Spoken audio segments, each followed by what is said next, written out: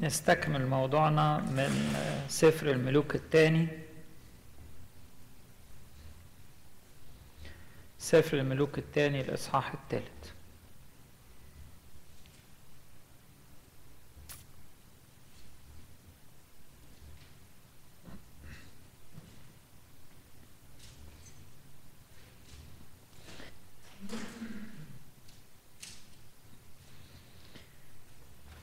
بسم الآب والابن والروح القدس الإله الواحد آمين. حلقة جديدة في حياة أليشع النبي اللي هو كان رجل الله بالحقيقة في وسط ظروف صعبة جدا كانت عايشة فيها مملكة إسرائيل. الإصحاح الثالث هو قصة تاريخية حصلت فيها حرب وأليشع كان له وقفة قوية ضد ملك إسرائيل. و أظهر له إنه لما يتكل على ذراع البشر عمره ما ينجح. واتكاله على ذراع البشر معناه إن هو مش واثق في ربنا وإن هو بيتجاهل إن الشعب ده شعب ربنا وإن ربنا المفروض هو اللي يطلب في الأول وهو اللي يتكل عليه مش الإنسان يتكل على القوة المادية أو ذراع البشر. نقرا بسرعة الإصحاح الثالث. بيقول وملك يهورام ابن آخاب على إسرائيل في السامرة السامرة كانت عاصمة مملكة إسرائيل. في السنة الثامنة عشرة ليهوشافاط ملك يهوذا.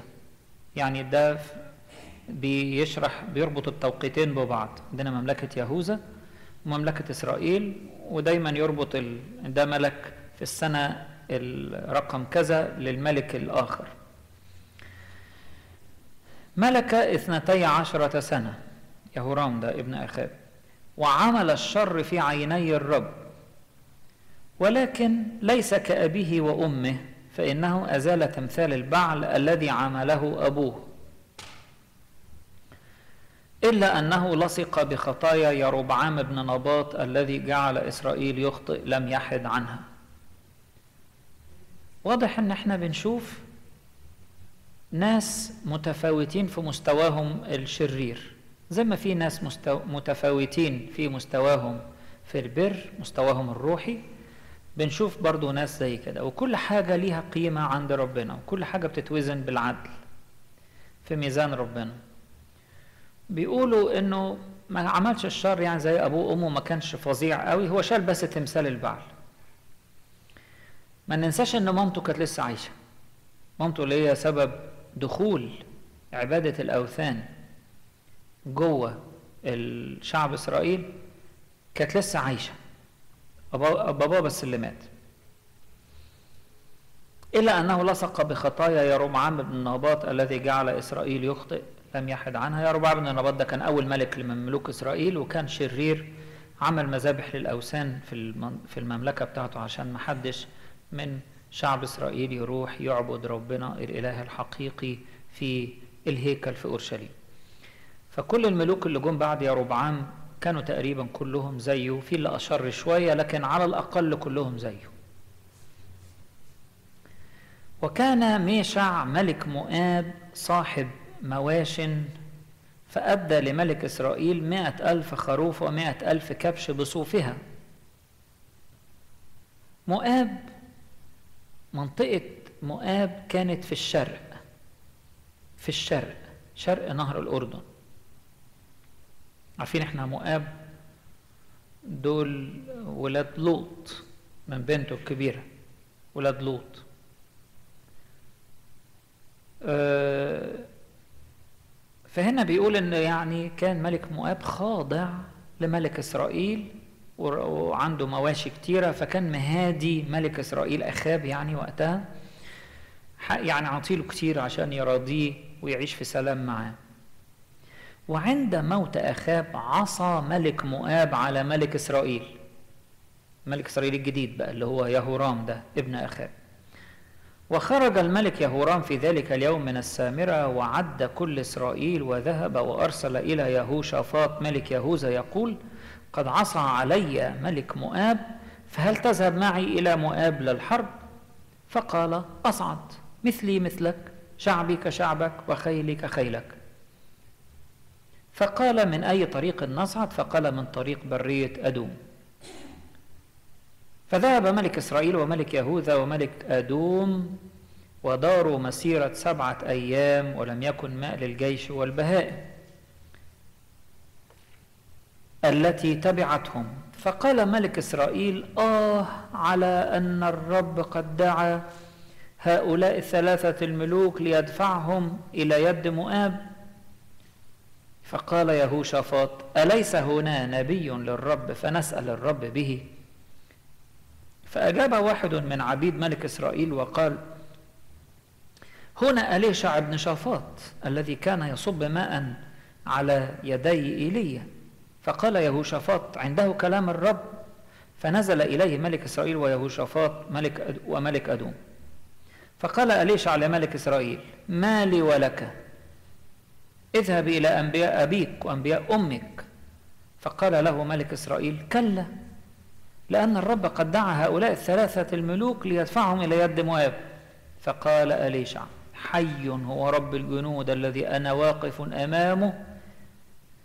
إنه لولا أني رافع وجه يهوشافاط ملك يهوذا لما كنت أنظر, أنظر إليك ولا أراك. وإلا فأتوني بعواد ولما ضرب العواد بالعود كانت عليه يد الرب فقال هكذا قال الرب اجعلوا هذا الوادي جبابا جبابا لأنه هكذا قال الرب لا ترون ريحا ولا ترون مطرا وهذا الوادي يمتلئ ماء فتشربون أنتم ومشياتكم وبهائمكم وذلك يسير في عيني الرب فيدفع مؤاب إلى أيديكم فتضربون كل مدينة محصنة وكل مدينة مختارة وتقطعون كل شجرة طيبة وتطمون جميع عيون الماء وتفسدون كل حقلة جيدة بالحجارة. وفي الصباح عند إصعاد التقدمة إذا مياه آتية عن طريق أدوم فامتلأت الأرض ماء ولما سمع كل المؤابيين أن الملوك قد صعدوا لمحاربتهم جمعوا كل متقلدي السلاح فما فوق وقفوا على التخم على الحدود يعني. وبكروا صباحا والشمس أشرقت على المياه ورأى المؤابيون مقابلهم المياه حمراء كالدم انعكاس ضوء الشمس. فقالوا هذا دم قد تحارب الملوك وضرب بعضهم بعضا والآن فإلى النهب يا مؤاب. وأتوا إلى محلة إسرائيل فقام إسرائيل وضربوا المؤابيين فهربوا من أمامهم فدخلوها وهم يضربون المؤابيين وهدموا المدن وكان كل واحد يلقي حجره في كل حقلة جيدة حتى ملؤوها وطموا جميع عيون الماء وقطعوا كل شجرة طيبة ولكنهم أبقوا في قير حارسة حجارتها واستدار أصحاب المقاليع وضربوها. فلما رأى ملك مؤاب أن الحرب قد اشتدت عليه أخذ معه سبعمائة رجل مستل السيوف لكي يشقوا إلى ملك أدوم فلم يقدروا فأخذ ابنه البكر الذي كان ملك الذي كان ملك عوضا عنه وأصعده محرقة على السور فكان غيظ عظيم على إسرائيل فانصرفوا عنه ورجعوا إلى أرضهم.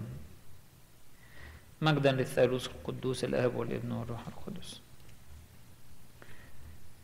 ملك إسرائيل له نفوذ وعايز يحافظ على النفوذ بتاعه ده لما ملك مؤاب مرضاش يبعت له زي الجزية أو يعني الهدية اللي بيبعتها له من المواشي هاج عليه. ولأنه لسه صغير ويعني شاب ولسه ماسك جديد فقال أنا أتفق أشوف برضو إيه صاحب أبويا الراجل اللي هو ملك يهوذا يهوشافاط وقال له تعالى إيه ده ملك مؤاب عصى علي هل تذهب معي إلى مؤاب للحرب؟ فقال أصعد مثلي مثلك شعبي كشعبك وخيلي كخيلك. أنا الحقيقة مستغرب من يهوشافاط يهوشافاط ده مرة أنا أخده لوحده يعني. لأنه كان راجل كويس. صحيح ما كانش يعني من أتقياء الملوك في يهوذا زي الاثنين المشهورين حزقية ويوشية. يهوشافاط كان يعني جيد. مش هنقول ممتاز ولا جيد جدا هنقول جيد. هو وآسى ويؤاش. في كام واحد كده يعني. بس أنا بستغرب على اللي ما بيتعلمش من دروس الماضي. مفروض أنا مشيت مع الراجل ده قبل كده أو مشيت مع الحروب بتاعت مملكة إسرائيل ودول ماشيين بعيد عن ربنا وما معاهمش بركة ربنا. ومشي مع أخاب وكان هيموت. فاكرين لما كان بيحارب؟ اليوم اللي مات فيه أخاب. وراحوا اتلموا عليه افتكروه أخاب وقعد يصرخ ويقول لهم مش أنا مش أنا. وسابوه. وهاب جاله سهم طايش كده ضربه ومات فيها. طب إيه اللي موديك مع ابنه تاني تحارب؟ إيه اللي مدخلك في يورطك في حاجات زي كده؟ ليه؟ ليه الإنسان يمشي في مشورة الأشرار؟ ليه يقعد في مجلس المستهزئين؟ ليه يورط نفسه؟ ليه يدخل نفسه في حاجات زي كده؟ في قصة منسوبة للقديس يوحنا الحبيب في أواخر القرن الميلادي الأول. كان في راجل هرطوقي بيقول كلام غلط بيقول إن المسيح ده جه في جسد خيالي وما كانش له جسد. كان يعني الكنيسة طبعا يعني قطعته من الشركة يعني لكن كان يقعد يعمل شوشرة. كده مخه مفوت شوية. ومع ذلك في مرة من المرات القديس يوحنا كان داخل أحد الحمامات العامة. في زمان حاجة اسمها الحمامات العامة. يبقى فيها مية سخنة ويعني بس تبقى حاجة بحاجات عمومية. مش زي بعد كده بعد تطور الحضارة بقى كل بيت فيه حمام وفيه ممكن مية سخنة أو باردة. فكان في حمامات عامة يعني وكان الناس بتستعملها يعني. فمرة دخل أحد الحمامات العامة في آخر حياته. فقالوا له ده فلان هنا الراجل الهرطوقي ده. قالوا له ده فلان جوه. راح سايب المكان وماشي. قال لهم لحسن يتهدى علينا أحسن غضب ربنا ينزل علينا بسبب فلان ده. وراح سايب المكان وماشي. قال أروح مكان تاني. يعني بيفكرني بالآية بتاعت المزمور اللي بتقول زيت الخاطي لا يدهن رأسي. طب والزيت ماله؟ لا ما استعملوش. ما دام المصدر كده جاي من حاجة مش مظبوطة بلاش. ها؟ الشاطر اللي يبعد عن مصدر الشر إيه اللي يدخله مع الشر؟ ما يبعد. إيه اللي مدخلك يا يوشفاط مع الناس دول؟ الناس دول بيعبدوا الأوثان. وداخل في حرب أنت مالك؟ إيه اللي دخلك فيها؟ تورط نفسك ليه؟ ما أنت اتورطت قبل كده مع بابا وكنت هتضيع فيها.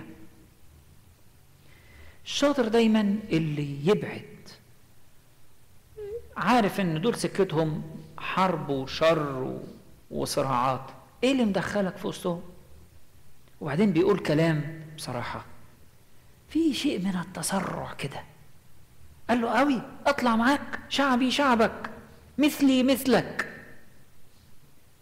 وخيلي كخيلك. أنت حاطط نفسك في مستوى الراجل ده؟ أنت راجل بتخاف ربنا. إيه اللي مدخلك في وسط الناس دي؟ أنت راجل بتخاف ربنا أنت في مستوى تاني. إيه اللي منزلك لمستوى الناس دي؟ دي ناس بتاعت الدنيا. تتخانق على شوية ماشية ولا شوية خرفان ولا شوية حاجات وعلى شوية نفوذ في العالم.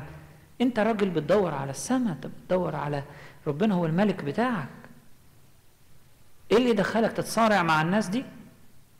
وتقول لهم زي زيك زيك زي. طب ما العقابة ينزل عليك انت كمان. هتورط نفسك ليه؟ يعني موقف مش لطيف من يهوشافاط. يهوشافاط كانت في حياته كده يعني يعني شوية سقطات كده. وبعدين قال له من أي طريق نصعد؟ فقال له يلا نطلع من برية آدوم. هو ملك إسرائيل شوية في الغرب وفي الشمال. واتفقنا أنه المؤاب في الشرق والأورشليم ويهوذا في الجنوب فأدوم أقرب لهم. فهو عدى على عدى يعني ملك إسرائيل عدى الأول على يهوشافاط في يهوذا خدوا وطلعوا على إيه؟ طلعوا على عايزين يحاربوا بتاع مؤاب. وفي سكتهم بتاع أدوم أخدوا بتاع أدوم معاهم. وقال لك إحنا نهجم إحنا الثلاثه ونكسر عينه علشان خاطر إيه؟ ناخد اللي إحنا عايزينه. فذهب ملك إسرائيل وملك يهوذا وملك أدوم وداروا مسيرة سبعة أيام. تاهوا في الصحراء. ولم يكن ماء للجيش والبهائم التي تبعتهم.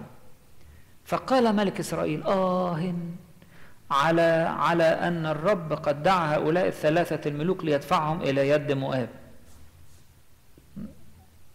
طب أنت اللي ورطتهم؟ قال لك يبقى بس إحنا كده إحنا الثلاثة هنضيع وملك مواب هي إيه؟ هيأسرنا وإحنا كده تهنا وما عندنا ما معناش مية وحالتنا صعبة. فقال يهوشافاط أليس هنا نبي للرب فنسأل الرب به؟ يا سلام يا يهوشافاط يعني افتكرت أخيرا؟ انت راجل بتاع ربنا. تمشي في اتجاه وبعد ما تتورط تقول الله فينك يا رب؟ فينك يا رب؟ طب ما تقول من الأول. ما تستشير ربنا في الأول. في حياتنا كده في خطوات بتبقى خطوات مصيرية. ما ينفعش في الخطوات المصيرية دي نندفع وبعدين نرجع نراجع نفسنا ونقول إيه ده؟ إحنا مشينا كده إزاي؟ طب يا رب تعالى الحقني. إيه اللي ممشاك في السكة دي؟ إيه اللي مشاك في السكة دي؟ مش سكتك. كويس إن الإنسان يدعو ربنا في الضيقة لكن الأفضل انه ما يتحركش غير بمشورة ربنا. ما يتحركش غير لما ربنا يقول له يلا سكتك مظبوطة امشي. لكن يندفع كده. وماشي مع ناس مش كويسين. يعني مش ماشي في سكة ناس أبرار يقول لك ده كويس أتعلم منهم. دول ماشيين في سكة ربنا يقدموني في الطريق الروحي. لا ده ماشي رايح حرب. ورايح مع ناس أشرار. ما بيخافوش ربنا. يعني يقول لك طب ما فيش نبي؟ برضو ما فيش نبي نسأل بيه ربنا. دي معناها إن هو صلته بربنا مش تو كلوز يعني. يعني صلته بربنا من بعيد. ندور على نبي نسأله. نروح لأبونا. طيب نروح لأبونا. بس إحنا مش بنصلي؟ إحنا مش المفروض نصلي ونحط كل حاجة بين إيدين ربنا وربنا يرشدنا؟ يعني دايما في الحاجات المصيرية لازم بنعمل ثلاث حاجات. نصلي كويس قوي قوي قوي عشان نسمع صوت ربنا. نفكر بعقلنا عشان نسمع صوت العقل بدون انفعال وبدون عاطفة. نمرة ثلاثة نستشير وناخد المشورة من أصحاب المشورة الجيدة مش من أي حد. ما ينفعش إن أنا أروح أمشي ورا مشورة من غير ما أشغل مخي. ما ينفعش أعمل الاتنين دول من غير ما أكون الأول إيه؟ بصلي أسمع صوت ربنا أسمع صوت عقلي أسمع صوت المشيرين الجيدين. لكن ما ينفعش الواحد إيه؟ يندفع. أيوه الحق طب فين ربنا؟ وهو صلته بربنا واضح إنها مش قوية. هو بيدور على نبي يقول له فنسأل الرب به.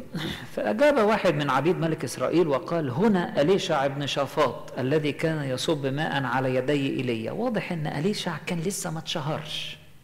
هو معروف أنه تلميذ إيليا وإيليا اختفى وده مكانه. بس لسه ما اتشهرش قوي يعني. وواضح برضو إن يهورام ده ابن أخاب ما تعاملش معاه قبل كده. متجاهله وملوش دعوة بيه وما تعاملش معاه. وطبعا أليشع ما كانش مبسوط من يهورام لأنه ماشي في نفس الطريق الشرير اللي, اللي كل الملوك اللي قبليه كانوا ماشيين فيه. فأول ما سمع يهوشافاط قال لك أيوة أنا تقريبا أنا سمعت عنه الراجل ده. عنده كلام الرب.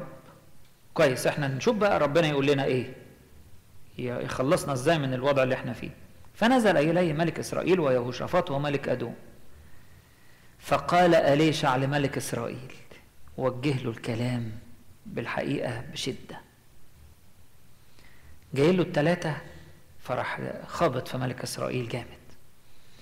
ما لي ولك اذهب إلى أنبياء أبيك وإلى أنبياء أمك. جاي لنا ليه؟ من إمتى أنت بتجيلي؟ ما تروح للأنبياء التانيين يقولوا لك.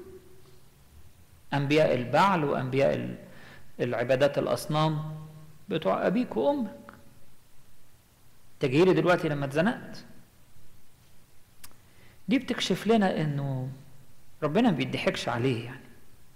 يعني مش ألجأ للعالم للعالم للعالم وأدور على حلول من العالم. وبعدين لما اتزنق خالص واتعرض للخطر أقول له الحقني. اشمعنى دلوقتي بتقول الحقني؟ ما تروح للي انت متكل عليهم. ومع ذلك يعني هو أنبه لكن ما سابهمش يعني. أنبه بشدة. فقال له ملك إسرائيل كلا معلش يعني حقك عليا ولا أنا ما مش هروح لهم أنا جاي لك أنت. لأن الرب قد دعا هؤلاء الثلاثة ملوك ليدفعهم ليد مؤاب. إحنا في ورطة وإحنا الثلاث ملوك دلوقتي ومعانا الجيش وهنضيع إحنا الثلاثة بجيوشنا. هنضيع تحت إيدين ملك مؤاب. فقال أليشع حي هو رب الجنود الذي أنا واقف أمامه. تعلم الوقوف قدام ربنا زي معلمه إيليا. حي هو الرب الذي أنا واقف أمامه. إنه لولا أني رافع وجه يهوشافاط ملك يهوذا لما كنت أنظر إليك ولا أراك. ولا كنت حتى استقبلتك. ده عشان خاطر بس يهوشافاط. عشان يهوشافاط بيخاف ربنا. صحيح يعني له نقط ضعف كده لكن يهوشافاط كان بيخاف ربنا وبيعبد ربنا. فعشان خاطر يهوشافاط.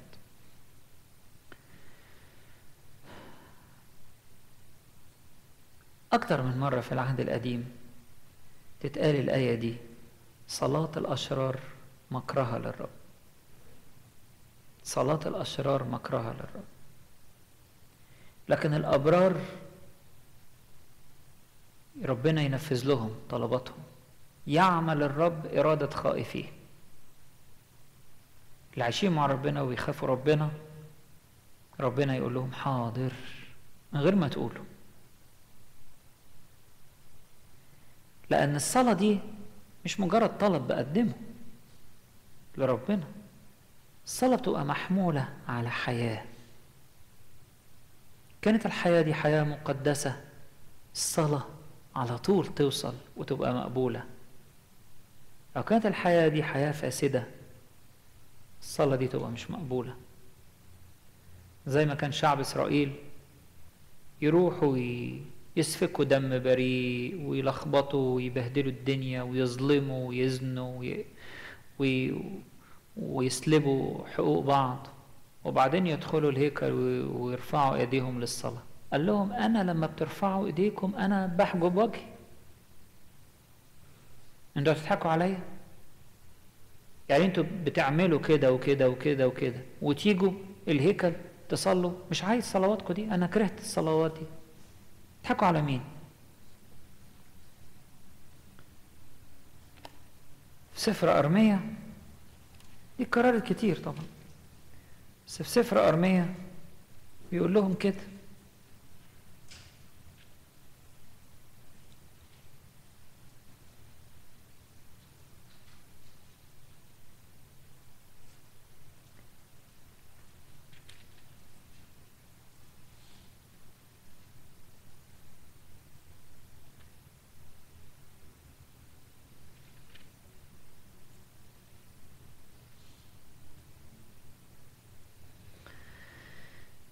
الإصحاح السابع.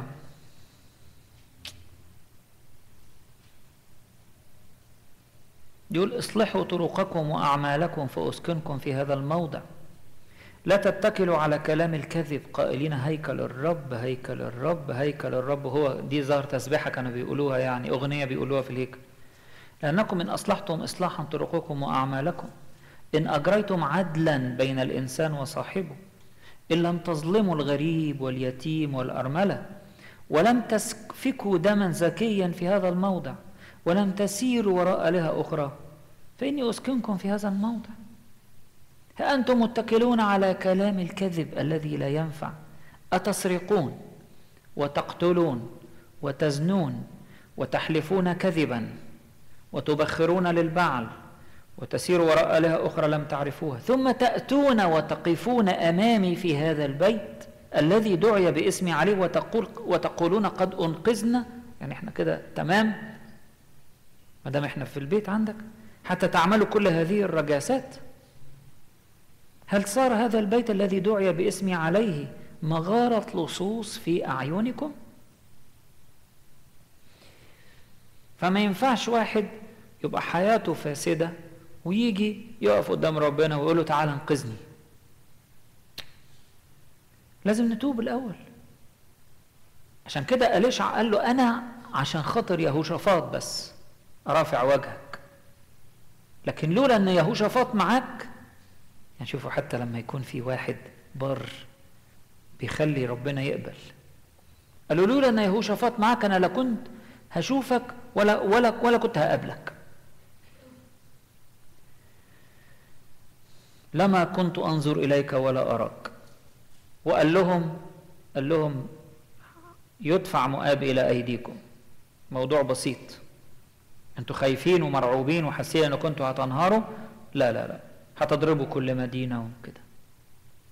كل المدينة. وفعلا. وجه في الصباح مية كتير سيل شربوا.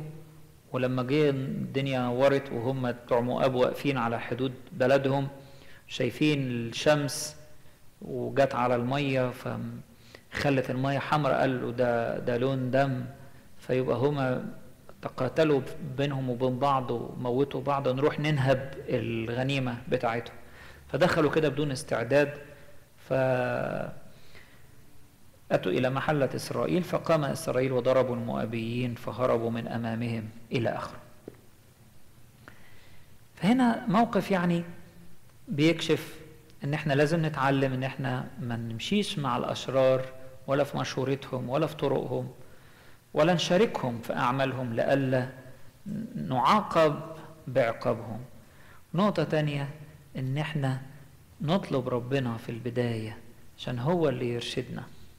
قبل ما نتحرك أي حركة. و... وأليشع هنا بيمثل بيمثل حضور الله اللي مش هيضحك عليه. لو إنسان عايش حياة مش مقدسة بعدين يجي يصرخ لربنا في الآخر يقول له يعني إيه؟ طبعا ربنا نفسه فينا كلنا لكن قال له بس عشان خاطر يهوشافاط معاك ولعل ده يكون درس ليهورام إنه عشان خاطر يهوشافاط ربنا أنقذه. طب يا أخي ما تعيش زي يهوشافاط بقى. طب ما تخليك بتخاف ربنا زي يهوشافاط ما تتعلم منه. مش باين مش باين إنه اتعلم منه حاجة. ناخد بسرعة جزء صغير من الإصحاح الرابع ونكمل في المرات اللي جاية. وصرخت إلى أليشع امرأة من نساء بني الأنبياء قائلة إن عبدك زوجي قد مات وأنت تعلم أن عبدك كان يخاف الله. فأتى المرابي ليأخذ ولدي له عبدين. فقال لها أليشع ماذا أصنع لك؟ أخبريني ماذا لك في البيت؟ فقالت ليس لجاريتك شيء في البيت إلا دهنة زيت. فقال اذهبي استعيري لنفسك أوعية من خارج من عند جميع جيرانك أوعية فارغة. لا تقللي. ثم ادخلي واغلقي الباب على نفسك وعلى بنيك وصبي في جميع هذه الأوعية وما امتلأ انقليه فذهبت من عندي وأغلقت الباب على نفسها وعلى بنيها فكانوا هم يقدمون لها الأوعية وهي تصب ولما امتلأت الأوعية قالت لابنها قدم لي أيضا وعاء. فقال لها لا يوجد بعد وعاء. فوقف الزيت. فأتت وأخبرت رجل الله فقال اذهبي بيع الزيت ووفي دينك وعيشي أنت وبنوك بما بقي. المعجزة دي جميلة جدا جدا. مرة كنا كتبنا فيها مقال بعنوان الأواني الفارغة.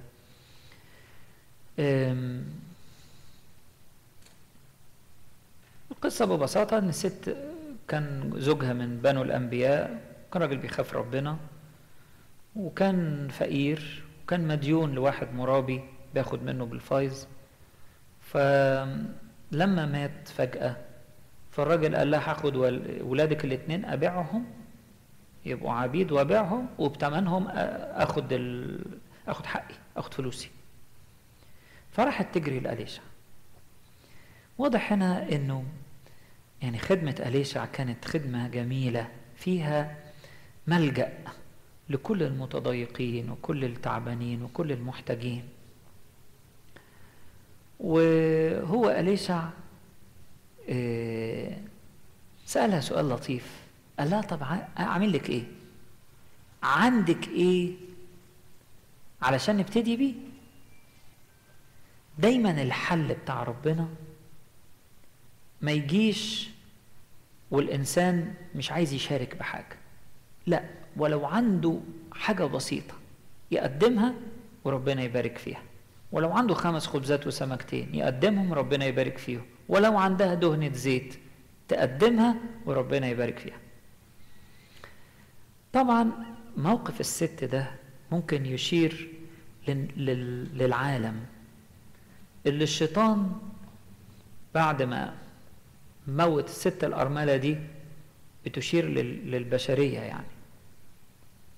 اللي انفصلت عن زوجها وأصبحت أرملة لما البشرية انقطعت علاقتها بربنا أصبحت أرملة. والعدو اللي مدينها اللي هو الشيطان عايز ياخد ولادها عبيد.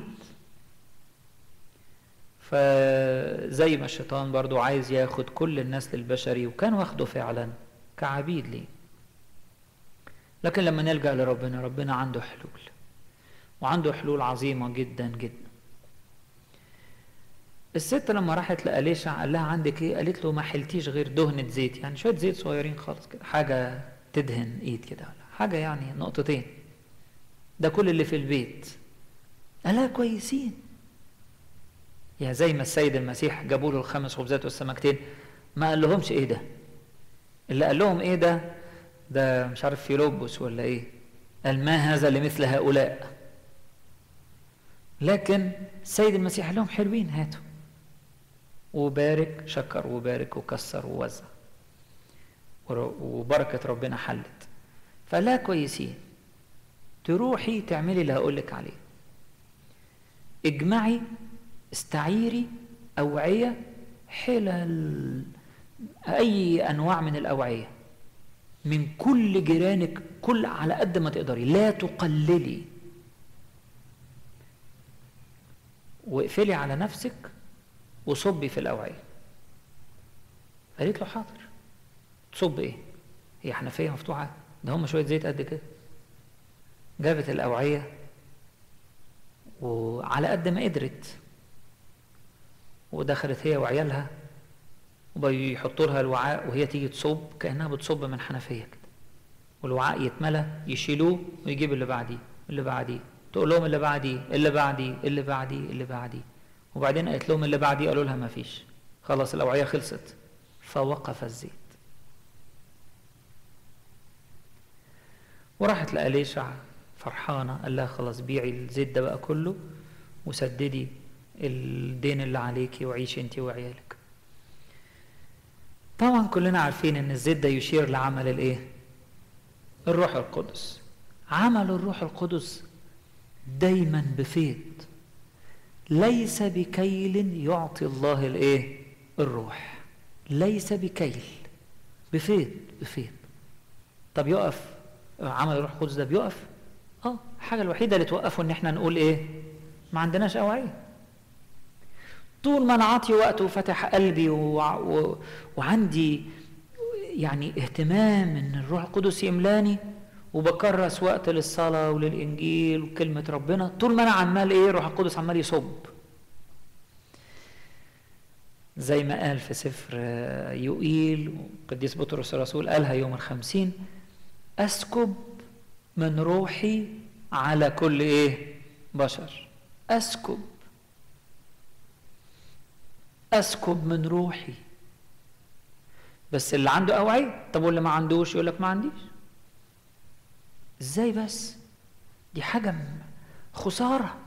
اجمع على قد ما تقدر. الأوعية هات أوعية. أنت الكسبان. هي على قد ما جمعت أوعية على قد ما خدت. على قد ما فضت مساحة على قد ما خدت. على قد ما أنا أفضي مساحة لربنا على قد ما يملاني. هقول له مش فاضي يقول لي خلاص الزيت يقف. عمل الروح القدس محبة ربنا اللي تملى القلب سلام المسيح اللي يملى الحياة نعمة ربنا اللي تسند كل دي ربنا عايز يصب وعايز يدي. أسكب من روحي على كل بشر. لأن محبة الله قد انسكبت في قلوبنا بالإيه؟ بالروح القدس. محبة الله قد انسكبت. لو الإنسان مش عايز يفتح قلبه وما عندوش وقت لربنا وما عندوش اهتمام. واكتفى بوعاء صغير كده. هي خمس دقايق نقف قدام ربنا في اليوم. وعاء صغير كده. ربنا هيدي هيديني بس يعني دول يعني يجيبوا كام يعني؟ الست طبعا جابت على قد ما كانت قادرة. وكل واحد فينا وشطارته. في واحد بيجيب أوعية عامل حوض أكبر من حمام السباحة. وعمال. والروح القدس عمال يديله. وعمال يكبر ويوسع. والروح القدس عمال يديله. ويقعد مع الإنجيل. ربنا يفتح ذهنه أكتر وأكتر وأكتر. وفي واحد تاني بيكتفي بإيه؟ بكلمتين. جايب وعاء قد كده ويقول بس. طبعا لما يجي نقول فين الوعاء التاني؟ يقول لك ما فيش. خلاص الروح يقف. خلاص. فهنا الغنى متاح ومفتوح بلا نهاية. وكل ما الإنسان يقدم وعاء كل ما ياخد أكتر. إحنا في الصلاة بنعمل إيه؟ بنقدم نفوسنا لربنا عشان يملانا. بنقدم أوعيتنا علشان يملانا. بنسمع كلمة ربنا أو بنقعد ندرس الإنجيل أو نسمع عظات. إحنا بنقدم نفسنا لربنا عشان يملانا. على قد ما نقدم على قد ما ناخد. على قد ما أقول أنا مش فاضي مش دلوقتي. طب بعدين؟ خلاص أنت حر. ما خدتش. والإنسان يبقى فقران كده ويقعد يشتكي بقى. ما عنديش ما عنديش. بس أنت ما تعرفش ظروفنا يا أبونا. بس إحنا ما, ما, عندناش وقت خالص. ما عندناش وقت. يفضل الإنسان نشفان كده نشفان. والشيطان يقول له يهدده بقى. يقول له هاخد عيالك. ما سددتش الدين. طب وليه؟ إذا كنا إلهنا غني. وإمكانياته غنية وبلا كيل زي ما بيقول القديس يوحنا المعمدان ليس بكيل يعطي الله الروح. ليس بكيل يعطي الله الروح. طب ما أنا ما دام هو يعني عطينا كده بلا حساب أسحب وآخد. يعني بيقول لي في رصيد ما لا نهاية. اسحب زي ما أنت عايز. وواحد معاه الكارت يسحب وبيروح يسحب 3 دولار و7 دولار و10 وأقصى ما فيها 15 يا راجل اسحب بالآلاف واسحب بالملايين واسحب زي ما أنت عايز واتغني واشبع. ليه كده؟ ليه تعيش فقير وأبوك غني؟ ليه تعيش فقير والإمكانيات المتاحة ليك كبيرة؟ الست دي نموذج لطيف إنه يعني إحنا نتشطر ولا نقلل في الأوعية. لا تقللي لا تقللي. اجمعي أوعية فارغة ولا تقللي. عايزين نجمع كل الوقت الممكن ونملاه. نجمع كل الوقت ونقدمه لربنا. يقوم يملاه لنا بالبركة بالسلام بالفرح. نجمع كل ما يمكن من وقتنا ونقدمه لربنا كل يوم علشان ربنا إيه؟ يملاه. ف ما يجيش يبقى ربنا هو اللي عايز يدينا وإحنا نقول له لا يوجد وعاء بعد. ما عنديش وقت ليك. ربنا يدينا كده إن إن الزيت وعمل الروح القدس لا يتوقف ابدا عن الانسكاب على حياتنا. ولربنا كل مجد وكرامة إلى الأبد. آمين. حد عنده سؤال أو تعليق؟ اتفضل يا دكتور. ثانية واحدة أجيب لك الميكروفون بس.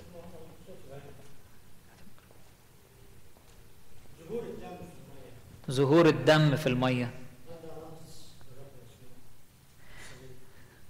هو خيل ليهم إنه إن هم شافوا المية كأن فيها دم. لكن مش عارف يعني هل ممكن نعتبرها فيها رمز ولا لأ.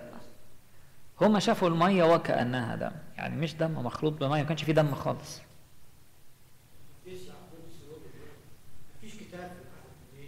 قرب لو سمحت. طبعا رموز عن المسيح كثيرة في كل حاجة طبعا يعني. يعني قصد حضرتك تقول إنه ما يشبه الدم ده كده يعني إشارة لأن الخلاص بدم المسيح؟ ممكن يعني. دي تأملات. اتفضل يا افتح الميكروفون. افتحه هو ما هو مقفول. ما معنى كلمة عواد؟ فأتوني بعواد. عواد اللي هو بيضرب بالعود. آه.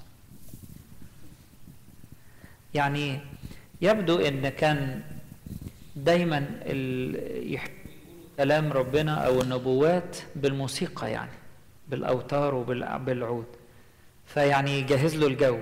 يعني عواد يضرب بالعود ويبتدي يقول زي تسبيحة كده لربنا وبعد كده ربنا بيرشده فيقول كلمة ربنا يقول بقى هيحصل كذا كذا كذا. فأتوني بعواد يعني واحد بيضرب بالعود نعم. حد عنده تعليق أو سؤال؟ اتفضل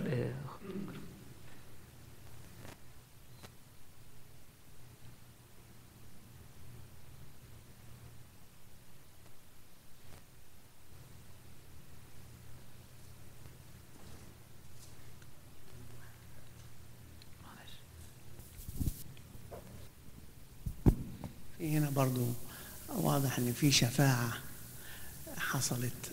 طبعا. آه ولولا إن إنه إنه شفاط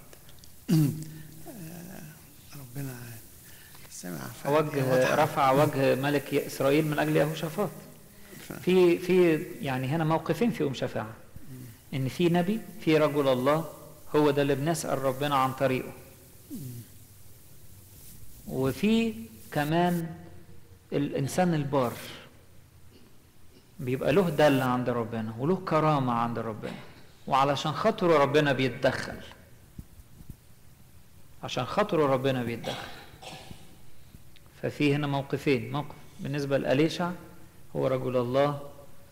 وموقف تاني إنه في واحد بار وعلشان خاطره. ودي كررت كتير يعني ده ربنا بيقول في العهد القديم بيقول أنا عايز بطلب واحد بس في أورشليم يصنع عدلا فأصفح عنها. في سفر أرمية برضو. في نفس الأجزاء الأولى دي اللي إحنا قرينا منها. أنا طالب بس إنسان واحد يصنع عدلا فأصفح عنها. مفيش. كان ده كان ده قبل السبي مباشرة. وقال لهم هيحصل السبي هيحصل السبي بسبب الشر بتاعكم. وفي قصة سدوم وعمورة لما إبراهيم كان بيتشفع وبيتناقش مع ربنا قال له يا إبراهيم وصل معاه العشرة. قال له لو في عشرة أبرار أنا هصفع عنها.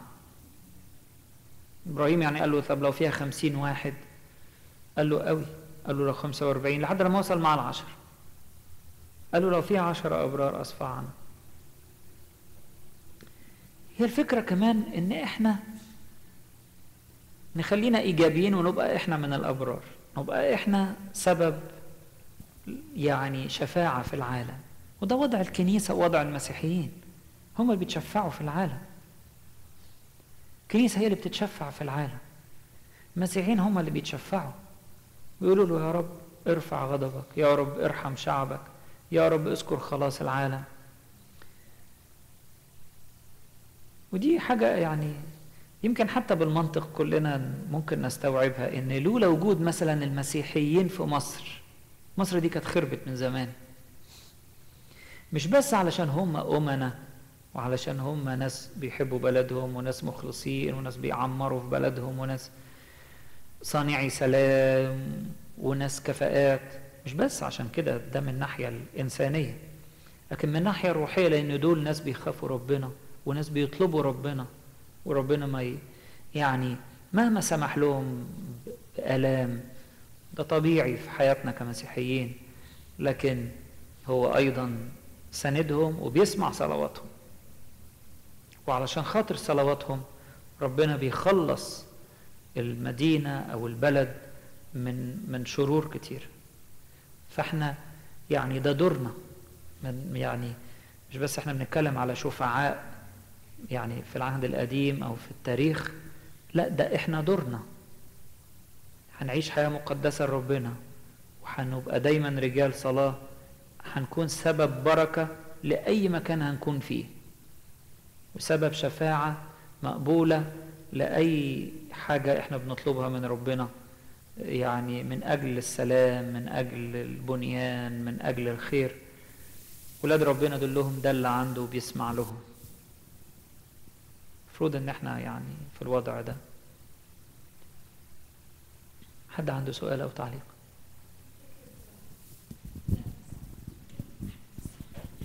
اللي قدسك بتقوله النهارده في القرايات أفتكر مش عارفة إذا كان آخر قراية قبل السنكسار إبراهيم قراها. بيقول آه، ما تفتكرش إن لو جات لك بلوى كان بالظبط المعنى اللي قدسك بتقوله. بس طبعا الذاكرة تعبانة. فاكر يا إبراهيم أنت اللي قريت ده النهارده؟ قال يعني ما معناه إن لو لو جت بلوى مش معناها إن أنا يعني حاجة زي كده يا قدس أبونا. معلش بس المعنى كان فعلا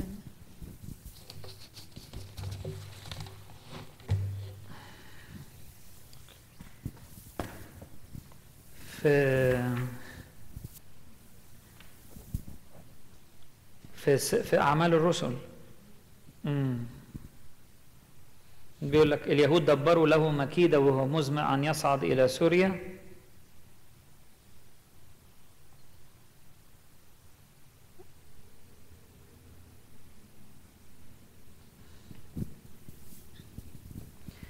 لا ما هو يعني دي كلها كانت فيها فيها متاعب يعني شغب وبعد كده مكيدة وبعد كده لكن في رسالة في الكاثوليكون بيقول لا تستغربوا البلوى المحرقة التي بينكم حادثة لأجل امتحانكم لأن كأن ذاك شيء غريب يحدث لكم. لا طبعا ده مش شيء غريب بل كما اشتركتم في آلام المسيح افرحوا الآن لكي تفرحوا أيضا عند ظهور مجده مبتهجين. يعني وإحنا بنتألم باصين على قدام باصين على مجد. فافرحوا الآن. افرحوا وأنتم بتتألموا. لكي تفرحوا أيضا في يوم ظهور مجده مبتهجين. فيعني الواحد وهو بيتألم ما يغرقش جوه الألم لا يفرح افرحوا وتهللوا لأن أجركم إيه؟ عظيم. يبقى عمال يبص على. على على أجركم عظيم في السماوات دي. بيبص على عند ظهور مجده. ف... فالواحد لما يبص على قدام يفرح إن الألم ده بيعمل له رصيد في المجد. فيفرح حتى وهو بيتألم. كما اشتركتم في آلام المسيح افرحوا الآن لكي تفرحوا أيضا عند ظهور مجده مبتهجين. حد عنده تعليق أو سؤال؟ آلام الزمان الحاضر لا تقاس بالمجد العتيد أن يستعلن فيه. مم.